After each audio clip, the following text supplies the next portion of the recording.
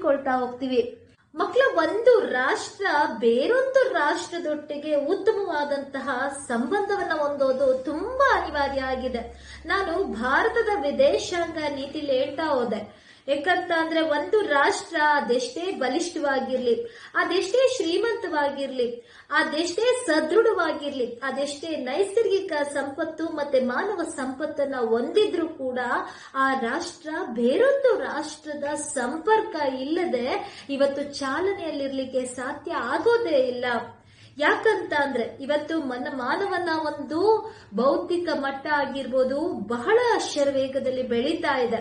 ಆತನ ಬಯಕೆಗಳು ಕೂಡ, ಆತನ ಬೇಡಿಕೆಗಳು ಕೂಡ ಬಹಳಷ್ಟು ಶರವೇಗದಲ್ಲಿ ಬೆಳೀತಾ ಇರೋದನ್ನ ನಾವು ನೋಡ್ತಾ ಇದೀವಿ ಇದರೊಟ್ಟಿಗೆ ಅತಿಯಾದಂತಹ ಆಧುನಿಕತೆ ಆಗಿರ್ಬೋದು, ಕೈಗಾರಿಕೀಕರಣ ಆಗಿರ್ಬೋದು, ನಗರೀಕರಣ ಆಗಿರ್ಬೋದು, ಜಾಗತೀಕರಣ ಆಗಿರ್ಬೋದು ಇದೆಲ್ಲವೂ ಕೂಡ ಶರವೇಗದಲ್ಲಿ ಬೆಳೀತಾ ಇರುವಂತಹ ಈ ಒಂದು ಯುಗದಲ್ಲಿ ಖಂಡಿತವಾಗಿಯೂ ಕೂಡ ಒಂದು ರಾಷ್ಟ್ರ ಮತ್ತೊಂದು ರಾಷ್ಟ್ರದೊಟ್ಟಿಗೆ ಉತ್ತಮವಾದಂತಹ ಸಂಬಂಧವನ್ನ ಹೊಂದೋದು ಬಹಳ ಅನಿವಾರ್ಯ ಆಗಿದೆ. ಭಾರತವೂ ಕೂಡ ಇದಕ್ಕೇನು ಹೊರತುಪಡಿಸಿಲ್ಲ. ಭಾರತವೂ ಕೂಡ ಬೇರೊಂದು ರಾಷ್ಟ್ರದೊಟ್ಟಿಗೆ ಉತ್ತಮವಾದಂತಹ ಸಂಬಂಧವನ್ನ ಹೊಂದಲೇಬೇಕಾಗಿದೆ. ಇದು ತನ್ನ ವಿದೇಶಾಂಗ ನೀತಿಯಲ್ಲಿ ಮತ್ತೆ ಸಂವಿಧಾನದಲ್ಲೂ ಕೂಡ ಅದನ್ನ ಅಳವಡಿಸಿಕೊಳ್ಳಲಾಗಿದೆ. ಅದೇ ರೀತಿಯಾಗಿ ಭಾರತ ಅತ್ಯಂತ ಸಹಬಾಳ್ವೆಯಿಂದ, ಅತ್ಯಂತ ಶಾಂತಿಯುತವಾಗಿ ವಿಶ್ವದ ಬಹಳಷ್ಟು ರಾಷ್ಟ್ರಗಳೊಟ್ಟಿಗೆ ಉತ್ತಮವಾದಂತಹ ಸಂಬಂಧವನ್ನ ಹೊಂದಿರೋದನ್ನ ನಾವು ನೋಡ್ಬ, ನೋಡ್ಬಹುದಾಗುತ್ತೆ. ಹಾಗಿದ್ರೆ ಮಕ್ಕಳ ಭಾರತ ಆ ಒಂದು ವಿದೇಶಾಂಗ ನೀತಿಯಲ್ಲಿ ನಾವು ನೋಡ್ತಾ ಹೋಗ್ತೀವಿ. ಸಂವಿಧಾನದಲ್ಲೂ ಕೂಡ ಹೇಳ್ತಾ ಹೋಗುತ್ತೆ. ಸಂವಿಧಾನದ ನಾಲ್ಕನೇ ಭಾಗದಲ್ಲಿ ರಾಜ್ಯ ನಿರ್ದೇಶಕ ತತ್ವದ ಐವತ್ತೊಂದನೆಯ ವಿಧಿಯಲ್ಲಿ ಭಾರತ ಮತ್ತು ವಿದೇಶಗಳ ನಡುವಿನ ಸಂಬಂಧ ಹೇಗಿರ್ಬೇಕು ಅನ್ನೋದ್ರ ಬಗ್ಗೆನೂ ಕೂಡ ಅಲ್ಲಿ ಉಲ್ಲೇಖಿಸಲಾಗಿದೆ. ಅತ್ಯಂತ ಸೌಹಾರ್ದತೆಯಿಂದ ಅನ್ಯ ರಾಷ್ಟ್ರದೊಟ್ಟಿಗೆ ಸಂಬಂಧವನ್ನ ಬೆಳೆಸೋದಿಕ್ಕೆ ಬಹಳಷ್ಟು ಉದ್ದೇಶಗಳನ್ನ ಮತ್ತೆ ಮೂಲಭೂತ ಅಂಶಗಳನ್ನು ಕೂಡ ಅದು ಕೊಟ್ಟಿರೋದನ್ನ ನಾವು ತಿಳ್ಕೊಳ್ಳಾಗುತ್ತೆ. ಸಂವಿಧಾನ ನಮ್ಗೆ ತಿಳಿಸ್ಕೊಟ್ಟಿರೋದನ್ನ ನಾವು ಕಳೆದ ತರಗತಿಯಲ್ಲಿ ನೋಡಿದೀವಿ. ಆದ್ರೆ ಈಗ ನಾನು ಈ ಒಂದು ಸಂಚಿಕೆಯಲ್ಲಿ ಎಲ್ಲಾ ರಾಷ್ಟ್ರ, ನಿಮ್ಮ ಒಂದು ಅಧ್ಯಾಯದಲ್ಲಿ ಭಾರತ ಯಾ ಎಲ್ಲ ರಾಷ್ಟ್ರಗಳೊಟ್ಟಿಗಿರುವಂತಹ ಸಂಬಂಧವನ್ನ ಇಲ್ಲಿ ತಿಳಿಸೋದಿಕ್ ಸಾಧ್ಯ ಆಗಿಲ್ಲ. ಇಲ್ಲಿ ಕೇವಲ ಭಾರತ ಅತ್ಯಂತ ಪ್ರಮುಖವಾದಂತಹ ನೆರೆಯ ರಾಷ್ಟ್ರಗಳಾದಂತಹ ಚೀನಾ ಮತ್ತು ಪಾಕಿಸ್ತಾನದ ನಡುವಿನ ಸಂಬಂಧವನ್ನ ನೀವು ಈ ಅಧ್ಯಾಯದಲ್ಲಿ ತಿಳ್ಕೊಳ್ತೀರಾ?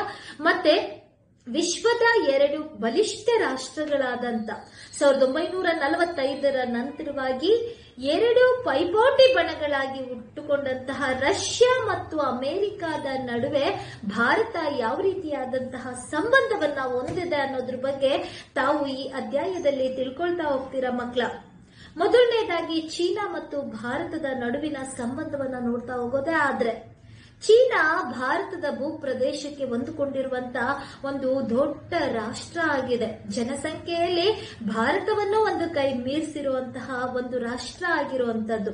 ಭಾರತದ ರೀತಿಯಲ್ಲಿಯೇ ಅಭಿವೃದ್ಧಿಶೀಲ ರಾಷ್ಟ್ರವಾಗಿ ಮುಂದುವರಿಯುತ್ತಿರುವಂತಹ ಈ ಚೀನಾ ರಾಷ್ಟ್ರ, ಚೀನಾ ಮತ್ತು ಭಾರತದ ಸಂಬಂಧ ಇವತ್ತು ಅಥವಾ ನಿನ್ನೆಯದಲ್ಲ. ಈ ಸಂಬಂಧವು ಬಹಳ ಪ್ರಾಚೀನ ಕಾಲದಿಂದಲೂ ಕೂಡ ನಾವು ನೋಡಿದೀವಿ. ನಾಗರಿಕತೆಗಳ ಕಾಲ, ನಾಗರಿಕತೆ ಯಾವಾಗ ಹುಟ್ಟುಕೊಳ್ತು ಅವಾಗಿಂದಲೂ ಕೂಡ ಚೀನಾ ಮತ್ತು ಭಾರತದ ನಡುವೆ ಸಂಬಂಧ, ಸಂಪರ್ಕ ಏರ್ಪಟ್ಟಿರೋದನ್ನ ನೋಡ್ಲಾಗುತ್ತೆ.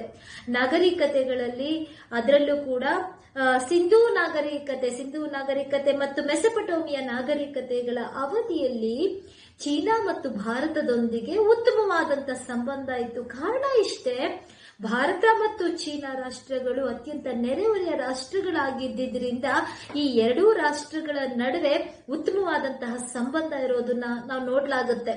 ಇದಾದ ನಂತರವಾಗಿ ಭಾರತದಲ್ಲಿ ಪ್ರಸಾರವಾದಂತಹ ಬೌದ್ಧ ಧರ್ಮವನ್ನ ನೋಡಿದಂತ ಸಂದರ್ಭದಲ್ಲಿ ಆ ಬೌದ್ಧ ಧರ್ಮ ಭಾರತದಲ್ಲಿ ಉದಯ ಆದ್ರೂ ಕೂಡ ಅದನ್ನ ಅತಿ ಹೆಚ್ಚು ಸ್ವೀಕಾರವನ್ನ ಮಾಡಿದಂಥವ್ರು, ಅದಕ್ಕೆ ಅತಿ ಹೆಚ್ಚು ಅನುಯಾಯಿಗಳಾದಂಥವ್ರು ಬೌದ್ಧ ಧರ್ಮದ ಎಲ್ಲಾ ತತ್ವಗಳನ್ನ ಅತ್ಯಂತ ಪ್ರೀತಿಯಿಂದ ಸ್ವಾಗತಿಸಿದಂಥವ್ರು, ಅದನ್ನ ಅನುಸರಿಸಿದಂಥವ್ರು ಭಾರತೀಯರಿಗಿಂತಲೂ ಒಂದು ಕೈ ಮೇಲಂತಾದ್ರೆ ಚೀನಾದವರು ಅಂತ ಹೇಳಿದ್ರೆ ತಪ್ಪಾಗೋದಿಲ್ಲ. ಭಾರತದಲ್ಲಿ ಹುಟ್ಟಿದಂತಹ ಬೌದ್ಧ ಧರ್ಮ ಹೆಚ್ಚು ಪ್ರಸಾರ ಆದಂತದ್ದು ಚೀನಾ ರಾಷ್ಟ್ರದಲ್ಲಾಗುತ್ತೆ. ಇದು ಕೂಡ ಭಾರತ ಮತ್ತು ಪ್ರಾಚೀನ ಕಾಲದಲ್ಲಿ ಯಾವ ರೀತಿಯ ಚೀನಾ ಮತ್ತು ಭಾರತದ ಸಂಬಂಧವನ್ನ ಅಲ್ಲಿ ತಿಳಿಸ್ಕೊಡ್ಲಾಗುತ್ತೆ.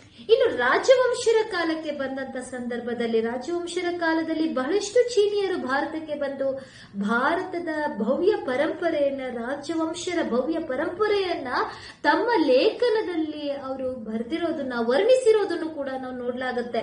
ಅದರಲ್ಲಿ ಅತ್ಯಂತ ಪ್ರಮುಖವಾಗಿ ಯುಎನ್ ಸ್ಯಾಂಗ್ ಚೀನಿ ಯಾತ್ರಿಕ ಇತಿಹಾಸದಲ್ಲಿ ನೀವು ಅದನ್ನ ನೋಡ್ತೀರಾ?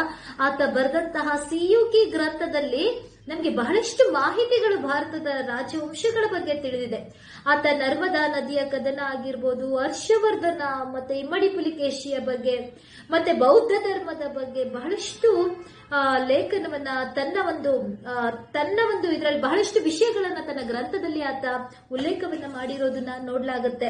ಅಷ್ಟೇ ಅಲ್ಲ, ಕೌಟಿಲ್ಯನ ಅರ್ಥಶಾಸ್ತ್ರ, ಇಂಡಿಯನ್ ಕವಿಯಾದ ಲೇಖಕರಾದಂತ ಕೌಟಿಲ್ಯ ಅವರು ಬರೆದಂತಹ ಅರ್ಥಶಾಸ್ತ್ರದಲ್ಲೂ ಕೂಡ ಚೀನಾದ ರೇಷ್ಮೆಯ ಬಗ್ಗೆ ರೇಷ್ಮೆ ಉತ್ಪಾದನೆಯ ಬಗ್ಗೆ ಕೌಟಿಲ್ಯನ ಅರ್ಥಶಾಸ್ತ್ರದಲ್ಲಿ ತಿಳಿಸಿಕೊಡಲಾಗಿದೆ. ಇದರಿಂದ ಆಗಲೂ ಕೂಡ, ಆ ಕಾಲದಲ್ಲೂ ಕೂಡ ಚೀನಾ ಮತ್ತು ಭಾರತದ ನಡುವೆ ಸಂಪರ್ಕ ಇತ್ತು, ಸಂಬಂಧ ಇತ್ತು ಅನ್ನೋದನ್ನ ಅಲ್ಲಿ ತಿಳಿಸ್ಕೊಡ್ಲಾಗುತ್ತೆ. ಈ ರೀತಿ ಪ್ರಾಚೀನ ಕಾಲದಲ್ಲಿ ಚೀನಾ ಮತ್ತು ಭಾರತದ ನಡುವೆ ಉತ್ತಮವಾದಂತಹ ಸಂಬಂಧ ಇತ್ತು ಮಕ್ಕಳ. ಆ ನಂತರದಲ್ಲಿ ಸಾವಿರದ ಒಂಬೈನೂರ ನಲವತ್ತ ಏಳರಲ್ಲಿ ಅದೇ ಸಮಕಾಲಿನಲ್ಲಿ ಎರಡು ವರ್ಷ ಆದ ನಂತರವಾಗಿ ಚೀನಾ ಚೀನಾ ಮತ್ತು ಭಾರತ ಈ ಎರಡೂ ಕೂಡ ಸ್ವತಂತ್ರ ಸಾರ್ವಭೌಮ ರಾಷ್ಟ್ರಗಳಾಗಿ ಉಟ್ಕೊಳ್ಳೋದನ್ನ ನೋಡ್ಲಾಗುತ್ತೆ. ಚೀನಾ ರಾಷ್ಟ್ರವು ಕೂಡ ಏನಂತ ಅಂದ್ರೆ ಪೀಪಲ್ ರಿಪಬ್ಲಿಕ್ ಆಫ್ ಚೈನಾ ಅನ್ನುವಂತಹ ಪಕ್ಷದ ಮೂಲಕ ಸ್ವತಂತ್ರ ರಾಷ್ಟ್ರವಾಗಿ ಉಟ್ಕೊಳ್ಳುತ್ತೆ. ಸಮಕಾಲಿನಲ್ಲಿ ಸಾರ್ವಭೌಮತ್ವವನ್ನ, ಸ್ವಾತಂತ್ರ್ಯವನ್ನ ಪಡೆದಂತ ಈ ಎರಡೂ ರಾಷ್ಟ್ರಗಳು ಕೂಡ ವಿಸ್ತಾರದಲ್ಲಿ ಜನಸಂಖ್ಯೆಯಲ್ಲಿ ಒಂದೇ ರೀತಿಯಾದಂತಹ ಲಕ್ಷಣಗಳನ್ನ ಹೊಂದಿರುತ್ತೆ. ಅದರೊಟ್ಟಿಗೆ ಬಹಳಷ್ಟು ಸಮಸ್ಯೆಗಳಲ್ಲೂ ಕೂಡ ಒಂದೇ ರೀತಿಯಾಗಿರೋದ್ರಿಂದಾಗಿ ಏಕರೂಪವಾಗಿದ್ದರಿಂದಾಗಿ ಒಂದೇ ರೀತಿಯ ಸಮಸ್ಯೆಗಳನ್ನು ಹೊಂದಿರೋದ್ರಿಂದಾಗಿ ಈ ಎರಡು ರಾಷ್ಟ್ರಗಳ ನಡುವೆ ಆತ್ಮೀಯತೆ, ಸ್ನೇಹ ಅನ್ನೋದು ಇನ್ನೂ ಬಲಿಷ್ಠವಾಗುತ್ತೆ, ಇನ್ನೂ ಪ್ರಬಲವಾಗುತ್ತೆ, ಇನ್ನೂ ಗಟ್ಟಿಯಾಗುತ್ತೆ. ಈ ಎರಡೂ ರಾಷ್ಟ್ರಗಳು ಕೂಡ ವಿಶ್ವದ ಪ್ರಬಲ ರಾಷ್ಟ್ರಗಳೊಟ್ಟಿಗೆ ಉತ್ತಮವಾದಂತಹ ಸಂಬಂಧವನ್ನ ಬೆಳೆಸೋದಕ್ಕಿಂತ ಈ ಎರಡು ರಾಷ್ಟ್ರಗಳು ಕೂಡ ತಾವೇ ಬಹಳಷ್ಟು ಒಪ್ಪಂದಗಳನ್ನ ಮಾಡಿಕೊಳ್ಳೋದ್ರ ಮೂಲಕ ಅದರಲ್ಲಿ ಸಾವಿರದ ಒಂಬೈನೂರ ಐವತ್ತ ನಾಲ್ಕರಲ್ಲಿ ನಡೆದಂತಹ ಪಂಚಶೀಲ ತತ್ವಕ್ಕೆ ಒಪ್ಪಂದವನ್ನಕ್ಕೆ ಸಹಿ ಹಾಕೋದ್ರ ಮೂಲಕವಾಗಿ ಚೀನಾ ಮತ್ತು ಭಾರತದ ನಡುವಿನ ಆತ್ಮೀಯತೆ ಬಾಂಧವ್ಯ ಸ್ನೇಹ, ಸೌಹಾರ್ದತೆ, ಸಹಕಾರ ಎಲ್ಲವೂ ಕೂಡ ಇನ್ನು ಗಟ್ಟಿಯಾಗೋದನ್ನ ನೋಡ್ಲಾಗುತ್ತೆ. ಆದರೆ ಈ ರೀತಿಯಾಗಿ ಅದು ಸ್ವಾತಂತ್ರ್ಯದ ನಂತರವಾಗಿ ಸುಮಾರು ಹತ್ತು ವರ್ಷಗಳ ಕಾಲ ಭಾರತ ಮತ್ತು ಚೈನಾದ ನಡುವೆ ಅದೇ ರೀತಿಯಾದಂತಹ ಉತ್ತಮವಾದಂತಹ ಸಂಬಂಧ ಇರುತ್ತೆ. ಭಾರತ ಮತ್ತು ಚೀನಾದ ನಡುವೆ ಉತ್ತಮವಾದ ಸಂಬಂಧ ಇರೋದಕ್ಕೆ ಇನ್ನೂ ಅತ್ಯಂತ ಒಂದು ಪ್ರಮುಖವಾದಂತಹ ಉದಾಹರಣೆ ಏನಂತ ಅಂದ್ರೆ ಇವತ್ತೇನು ಭದ್ರತಾ ಸಮಿತಿ ಅಂತ ಏನಿದೆ, ಆ ಭದ್ರತಾ ಸಮಿತಿಯ ಕಾಯಂ ಸದಸ್ಯತ್ವ ರಾಷ್ಟ್ರಕ್ಕಾಗಿ ಭಾರತಕ್ಕೆ ಅಮೆರಿಕ ಆಫರ್ನ ಕೊಟ್ಟಂತದ್ದು. ಆಗ ಅವತ್ತಿನ ಪ್ರಧಾನಮಂತ್ರಿಯಾದಂತಹ ಪಂಡಿತ್ ಜವಾಹರ್ಲಾಲ್ ನೆಹರೂರವರು ಅದನ್ನ ತ್ಯಜಿಸಿ ಚೀನಾಕ್ಕೆ ಬಿಟ್ಟುಕೊಟ್ಟಂತದನ್ನ ನಾವು ನೋಡ್ಲಾಗುತ್ತೆ. ಇವತ್ತು ಚೀನಾ ಭದ್ರತಾ ಸಮಿತಿಯ ಕಾಯಂ ಸದಸ್ಯತ್ವವನ್ನ ಹೊಂದಿರೋದನ್ನ ನೋಡ್ಲಾಗುತ್ತೆ. ಇದರಲ್ಲೇ ತಿಳ್ಕೊಳ್ಬಹುದಾಗುತ್ತೆ ಚೀನಾ ಮತ್ತು ಭಾರತದ ನಡುವೆ ಎಷ್ಟು ಆತ್ಮೀಯವಾದಂತಹ ಬಾಂಧವ್ಯ ಇತ್ತು ಅಂತ ಅನ್ಕೊಂಡು.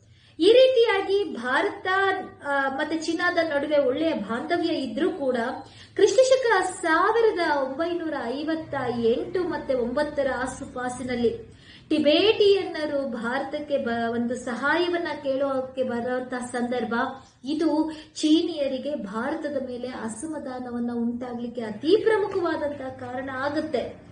ಭಾರತದಲ್ಲಿ ಒಂದು ರೀತಿಯಾದಂತ ಚೀನಾದ ಬಗ್ಗೆ ಒಂದು ರೀತಿಯಾದಂತ ಒಂದು ಚೂರು ಕೂಡ ಸ್ನೇಹದಲ್ಲಿ ಕಲ್ಮಶ ಇರೋದಿಲ್ಲ. ಆದರೆ, ಆ, ಟಿಬೇಟಿಯನ್ನರ ಒಂದು ಭಾರತಕ್ಕೆ ಸಹಾಯವನ್ನ ಕೇಳೋಕೆ ಬಂದಂತ ಸಂದರ್ಭದಲ್ಲಿ ಚೀನಿಯರು ಭಾರತದ ಮೇಲೆ ಆಂತರಿಕವಾಗಿ ವೈಷಮ್ಯವನ್ನ ಬೆಳೆಸೋದಿಕ್ಕೆ ಸ್ಟಾರ್ಟ್ ಮಾಡ್ತಾರೆ. ಇದೇ ಇದೇ ಉದ್ದೇಶದಿಂದ ಕ್ರಿಸ್ತಶಕ ಸಾವಿರದ ಒಂಬೈನೂರ ಅರವತ್ತ ಎರಡರಲ್ಲಿ ಯಾವುದೇ ರೀತಿಯಾದಂತ ಮುನ್ಸೂಚನೆಯನ್ನ ಕೊಡದೆ ಬಹಳ ಅಘೋಷಿತವಾದಂತ ರೀತಿಯಲ್ಲಿ ಚೈನಾದವರು ಏನ್ ಮಾಡ್ತಾರೆ ಅಂದ್ರೆ ಅರುಣಾಚಲ ಪ್ರದೇಶದ ಮೂಲಕವಾಗಿ ಲಡಕ್ನ ಮಾರ್ಗವಾಗಿ ಭಾರತದ ಮೇಲೆ ದಾಳಿಯನ್ನ ಮಾಡಲಾಗುತ್ತೆ. ಸುಮಾರು ಎಂಬತ್ತು ಸಾವಿರಕ್ಕಿಂತಲೂ ಅಧಿಕವಾದ ಸೈನಿಕರು ಭಾರತವನ್ನ ಪ್ರದೇಶವನ್ನ ಮಾಡಲಾಗುತ್ತೆ. ಆಗ ಚೀನಾ ಈ ರೀತಿಯಾಗಿ ಆಕ್ರಮಣ ಮಾಡುತ್ತೆ ಎನ್ನುವಂತಹ ಒಂದು ಸ್ವಲ್ಪ ಕಲ್ಪನೆಯೂ ಇಲ್ಲದೆ ಇರುವಂತಹ ಭಾರತ, ಒಂದು ಒಂದು ಚೂರು ಸುಳಿವು ನಿರೀಕ್ಷೆ ಇಲ್ಲದಂತಹ ಭಾರತ ಯಾವುದೇ ರೀತಿಯಾದಂತಹ ಪೂರ್ವ ಯೋಜನೆಗಳನ್ನ ಹಾಕೊಂಡಿರ್ಲಿಲ್ಲ. ಯಾವುದೇ ರೀತಿಯಾದಂತಹ ಸೈನಿಕರನ್ನಾಗಿರ್ಲಿ, ಯಾವುದು ಕೂಡ ಯುದ್ಧಕ್ಕೆ ಸಿದ್ಧಪಡಿಸಿಕೊಂಡಿರ್ಲಿಲ್ಲ. ಕೇವಲ ಹತ್ತು ಸಾವಿರ ಸೈನಿಕರು ಮಾತ್ರ ಭಾರತದಲ್ಲಿ ಆ ಒಂದು ದಾಳಿ, ಆ ಒಂದು ಯುದ್ಧಕ್ಕೆ ಪ್ರವೇಶವನ್ನ ಮಾಡ್ತಾರೆ. ಬಟ್ ಆ ಹತ್ತು ಸಾವಿರ ಸೈನಿಕರಿಗೂ ಕೂಡ ಯಾವುದೇ ರೀತಿಯಾದಂತಹ ತರಬೇತಿ ಆಗ್ಲಿ ಉತ್ತಮ ಉನ್ನತವಾದಂತ, ಉತ್ತಮವಾದಂತ ಪೂರ್ವ ಯೋಜನೆ ಆಗ್ಲಿ ಇರ್ಲಿಲ್ಲ. ಇದು ಏನಾಗತ್ತಂತ ಅಂದ್ರೆ ಚೀನಿಯರು ಭಾರತದಲ್ಲಿ ಆ ಒಂದು ಯುದ್ಧದಲ್ಲಿ ಗೆಲ್ಲೋದಿಕ್ಕೆ ಅತಿ ಪ್ರಮುಖವಾದಂತ ಕಾರಣ ಆಗುತ್ತೆ ಮಕ್ಕಳ ಈ ರೀತಿಯಾಗಿ ಚೈನಾ ಮತ್ತು ಭಾರತದ ನಡುವೆ ಕೃಷಿ ಶಕ ಸಾವಿರದ ಒಂಬೈನೂರ ಅರವತ್ತ ಎರಡರಲ್ಲಿ ವೈಷಮ್ಯ ಮೂಡೋದನ್ನ ನಾವು ನೋಡ್ತಾ ಹೋಗ್ತೀವಿ. ಆದ್ರೂ ಕೂಡ ಭಾರತದ ಮತ್ತು ಚೀನಾದ ನಡುವೆ ಈ ಈ ಒಂದು ಕಾರಣಕ್ಕೆ ಅದರೊಟ್ಟಿಗೆ ಏನಂದ್ರೆ ಗಡಿ ಸಮಸ್ಯೆ. ಇವತ್ತಿಗೂ ಕೂಡ ಅರುಣಾಚಲ ಪ್ರದೇಶ, ಚೈನಾ ರಾಷ್ಟ್ರ ನಮಗೆ ಸೇರ್ಬೇಕು ಅನ್ನುವಂಥದ್ದು ರೀತಿಲಿ ಪ್ರತಿರೋಧವನ್ನ ಮಾಡ್ತಾ ಇದೆ, ವಾದವನ್ನ ಮಾಡ್ತಾ ಇರೋದನ್ನ ನಾವು ನೋಡ್ತಾ ಇದ್ದೀವಿ. ಚೀನಾ ಮತ್ತು ಭಾರತದ ನಡುವೆ ಒಂದು ಟಿಬೇಟಿಯನ್ನರಿಂದಾಗಿರ್ಬೋದು, ಮತ್ತೊಂದು ಗಡಿ ಸಮಸ್ಯೆ ಅರುಣಾಚಲ ಪ್ರದೇಶ, ಭಾರ, ಚೈನಿಯರಿಗೆ ಸೇರ್ಬೇಕು ಅನ್ನುವಂತ ಉದ್ದೇಶದಿಂದ ಚೀನಾ ಮತ್ತು ಭಾರತದ ನಡುವೆ ವೈಮನಸ್ಯ ಇರೋದನ್ನ ನಾವು ನೋಡ್ಲಾಗುತ್ತೆ ಮಕ್ಕಳ ಇದಾದ್ರೂ ಕೂಡ ಭಾರತ ಮತ್ತು ಚೀನಾದ ನಡುವೆ ಕೆಲವು ವಿಷಯಗಳಲ್ಲಿ ಬಹಳ ಸಾಮರಸ್ಯವಾಗಿ ಅದು ಸಾವಿರದ ಒಂಬೈನೂರ ಎಂಬತ್ತರ ಈಚೆಗೆ ಭಾರತ ಮತ್ತು ಚೀನಾದ ನಡುವೆ ಉತ್ತಮವಾದಂತ ವ್ಯಾಪಾರ, ವಹಿವಾಟು, ಸಂಸ್ಕೃತಿ, ಕ್ರೀಡೆ ಎಲ್ಲಾ ಕ್ಷೇತ್ರಗಳಲ್ಲೂ ಕೂಡ ಉತ್ತಮವಾದಂತಹ ಸಂಬಂಧವನ್ನು ಕೂಡ ಹೊಂದ್ಕೊಂಡಿರೋದನ್ನ ನೋಡಲಾಗುತ್ತೆ. ಯಾಕಂದ್ರೆ ಈ ಎರಡು ರಾಷ್ಟ್ರಗಳು ವಿಶ್ವದಲ್ಲಿ ಅತ್ಯಂತ ದೊಡ್ಡ ರಾಷ್ಟ್ರಗಳಾಗಿದೆ, ಅತಿ ಹೆಚ್ಚು ಜನಸಂಖ್ಯೆಯನ್ನು ಹೊಂದಿರುವಂತಹ ರಾಷ್ಟ್ರಗಳಾಗಿದೆ, ವಿಶ್ವದಲ್ಲಿ ಮುಂದುವರಿತಾ ಇರುವಂತಹ ರಾಷ್ಟ್ರಗಳಾಗಿದೆ.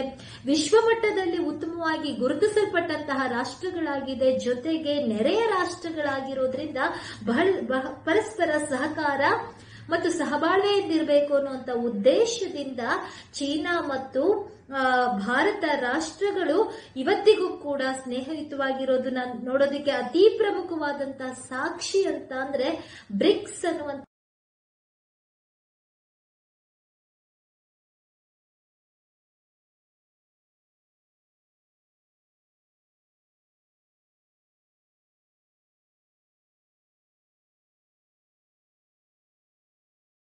ಅಂತ ಸಂಸ್ಥೆ ಕೃಷಿಶಕ ಹದಿನೈದರಲ್ಲಿ, ಎರಡ್ ಸಾವಿರದ ಹದಿನೈದರಲ್ಲಿ ಭಾರತ ಮತ್ತು ಚೀನಾದ ಅತ್ಯಂತ ಪ್ರಯತ್ನದಿಂದ ಹುಟ್ಕೊಂಡಂತ ಒಂದು ಸಂಸ್ಥೆ ಆಗಿರುತ್ತೆ ವಿಶ್ವ ಮಟ್ಟದಲ್ಲಿ ಈ ಬ್ರಿಸ್ಕ್ ಅನ್ನುವಂತ ಸಂಸ್ಥೆಯ ಮೂಲಕ ಭಾರತ ಮತ್ತು ಚೀನಾದ ನಡುವಿನ ಸಂಬಂಧವನ್ನ ಇನ್ನೂ ಗಟ್ಟಿಗೊಳಿಸುವಂತಹ ಪ್ರಯತ್ನ ನಡೆದಿದೆ. ಬ್ರಿಸ್ಕ್ ಅನ್ನುವಂಥದ್ರಲ್ಲಿ ಯಾವ್ಯಾವ ದೇಶಗಳಿದೆ ಅಂತ ಅಂದ್ರೆ ಬ್ರೆಜಿಲ್ ಅನ್ನುವಂಥದ್ದು ರಷ್ಯಾ ಇಂಡಿಯಾ ಆಗಿರ್ಬೋದು ಚೀನಾ ಮತ್ತು ಸೌತ್ ಆಫ್ರಿಕಾ ಈ ಐದು ರಾಷ್ಟ್ರಗಳನ್ನೊಳಗೊಂಡಂತಹ ಬ್ರಿಸ್ಕ್ ಅನ್ನುವಂತಹ ಒಂದು ಸಂಸ್ಥೆಯನ್ನ ಒಂದು ಟೀಮ್ ಒಂದು ಸಂಘವನ್ನ ಸ್ಥಾಪನೆ ಮಾಡೋದನ್ನ ನಾವು ನೋಡಲಾಗುತ್ತೆ. ಈ ಐದು ರಾಷ್ಟ್ರಗಳನ್ನ ಒಳಗೊಂಡಂತೆ ಒಂದು ಸಂಸ್ಥೆಯನ್ನ ಸ್ಥಾಪನೆ ಮಾಡಲಾಗುತ್ತೆ. ಇದು ಪ್ರತಿ ವರ್ಷನೂ ಕೂಡ ತನ್ನದೇ ಆದಂತಹ ಶೃಂಗ ಸಭೆಗಳನ್ನ ನಡೆಸ್ತಾ ಇರುತ್ತೆ. ಎರಡ್ ಸಾವಿರದ ಇಪ್ಪತ್ತ ಒಂದರಲ್ಲಿ ತನ್ನ ಹದಿಮೂರನೆಯ ಶೃಂಗ ಸಭೆಯನ್ನ ಬ್ರಿಸ್ಕ್ ದೆಹಲಿಯಲ್ಲಿ ನಡೆಸಿರೋದನ್ನ ನೋಡಲಾಗುತ್ತೆ. ಇದು ಭಾರತದಲ್ಲಿ ನಡೆದಂತಹ ಮೂರನೇ ಒಂದು ಶೃಂಗಸಭೆ ಆಗಿದೆ. ಎರಡ್ ಸಾವಿರದ ಹನ್ನೆರಡು ಮತ್ತೆ ಎರಡ್ ಸಾವಿರದ ಹದಿನಾರರ ನಂತರವಾಗಿ ಭಾರತದಲ್ಲಿ ಮೂರನೆಯ ಬಾರಿಗೆ ಈ ಬ್ರಿಸ್ಕ್ ಅನ್ನುವಂತಹ ಶೃಂಗಸಭೆ ಭಾರತದ ದೆಹಲಿಯಲ್ಲಿ ಇತ್ತೀಚೆಗೆ ಎರಡ್ ಸಾವಿರದ ಇಪ್ಪತ್ತೊಂದರಲ್ಲಿ ನಡೀತೆ ನಡೆದಿರೋದನ್ನ ನಾವು ನೋಡ್ಲಾಗುತ್ತೆ. ಈ ರೀತಿ ಭಾರತ ಮತ್ತು ಚೀನಾದ ನಡುವೆ ಬಹಳಷ್ಟು ವೈಮನಸ್ಸಗಳಿದ್ರೂ ಕೂಡ ಇವತ್ತಿಗೂ ಕೂಡ ಪರಸ್ಪರ ಪ್ರಾಚೀನ ಕಾಲದಿಂದ ಇಂದಿನವರೆಗೂ ಕೂಡ ಬಹಳ ಸಾಮರಸ್ಯದಿಂದ ಇರೋದನ್ನ ನೋಡ್ತಾ ಹೋಗ್ಲಾಗತ್ತೆ. ಇನ್ನು